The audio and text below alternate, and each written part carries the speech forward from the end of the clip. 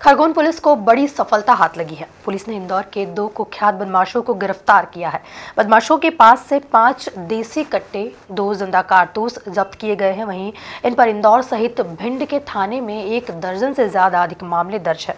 देखिए खास report. Police अधीक्षक सिद्धार्थ चौधरी ने बताया कि मुखबिर से सूचना मिली कि ग्राम सिगनूर से हथियार खरीद कर बदमाश ले जा रहे हैं। सूचना मिलते ही पुलिस ने सघन चेकिंग अभियान चलाया, जिसके चलते पुलिस ने दोनों बदमाशों को पकड़ लिया। दोनों बदमाश बिना नंबर की बुलेट मोटरसाइकिल लेकर आ रहे थे, लेकिन चेकिंग पॉइंट देखकर गाड़ी पलटा कर वापस भागने लगे। जिन्हें घेराबंदी कर पकड़ा गया। दोनों की तलाशी लेने पर एक देसी पिस्टल, ज़िंदा कारतूस पाए गए। ये दोनों बदमाश उज्जैन के डॉन दुर्लभ कश्यप गैंग में भी रहे हैं। दुर्लभ की मौत के बाद ये सोशल मीडिया पर दहशत फैला रहे थे। अवैध हथियारों के संबंध में सूचनाएँ मिली थी कल कोतवाली पुलिस को, जब रात को करीब 10 बजे के आसपास एक चेकिंग लगाई गई थी गोगावा से आने वाले रास्ते पे। और मुखबिर की सूचना के आधार पर दो लोगों को जो बुलेट मोटरसाइकिल से आ रहे थे, उनको रोक के तलाशी जब ली गई तो उनके पास से पाँच पिस्टल और दो ज़िंदा राउंड मिले।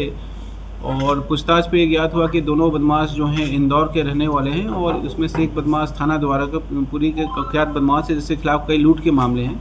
इसी प्रकार दूसरा बदमाश जो शहजादा उर्फ़ अरसद है, वो थाना देपालपुर का बदमाश है। दोनों बदमाशों के विरुद्ध कई अपराध पंजीबद्ध हैं।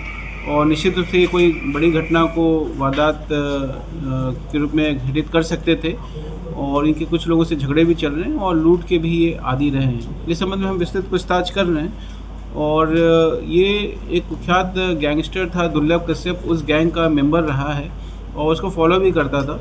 और उसी हुलिये में ये लोग रहते थे। और नशे के भी आदि हैं जो स्मैक और एमडी वगैरह के नशे करते थे।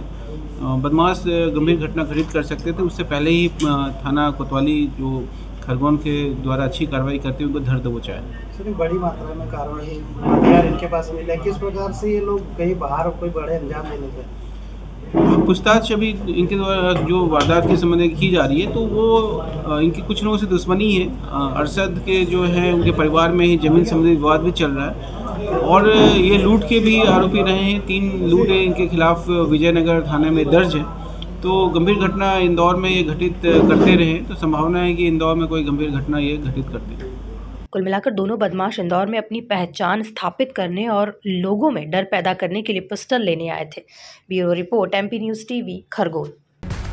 करोड़ों दर्शकों का मिल रहा साथ। एमपी की बात, एमपी न्यूज़ के साथ।